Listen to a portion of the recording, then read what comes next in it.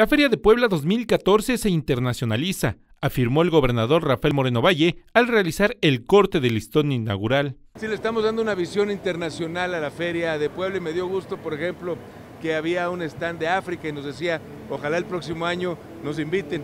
Ah, es decir, ya hay interés, se genera entusiasmo.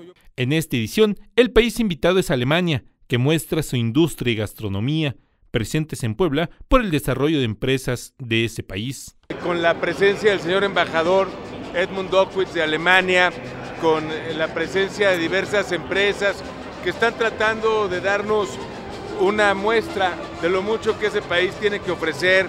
La meta será superar un millón de visitantes que se registraron en la pasada edición ya que la calidad de los artistas y espectáculos que se presentan son de primer nivel, con el único objetivo de tener un ambiente familiar.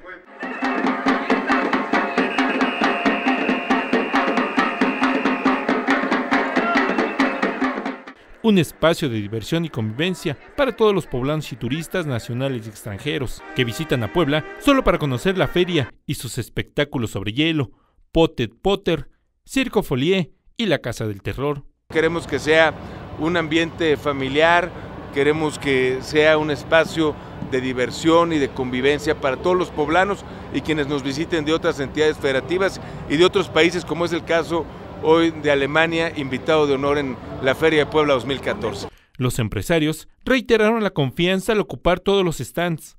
Además, el foro artístico se pasó a la Plaza La Victoria, para que los poblanos disfruten de una cartelera rica en artistas. Tanto en este espacio como en el Palenque se tendrán más de 48 artistas de primer nivel. Nos sentimos muy contentos de lo que se ha logrado en la feria, 600 stands, ustedes pudieron observar ahora cómo todos se vendieron, cómo hubo una gran demanda, porque hay confianza en el gobierno del Estado, hay confianza en la feria de Puebla. El mandatario estatal, en compañía del embajador de Alemania en México, realizó el corte de listón del corredor donde se expone la gastronomía y la industria de ese país. El pasillo de la empresa Volkswagen muestra la historia de los vehículos que por medio siglo se han fabricado en el estado. Se puede hacer un recuento de la historia que ha tenido Alemania en México a través de instituciones educativas, de empresas, de vinculación social y por supuesto que eso también es parte de la grandeza de nuestro estado. Cabe mencionar que Puebla estará como invitado especial en Zacatecas y para el Festival Puebla se invitó a Chiapas, lo que permitirá promocionar y conocer otras culturas y tradiciones. Con imágenes de Ramsés de la Lanza informó para Puebla Noticias Daniel Caro.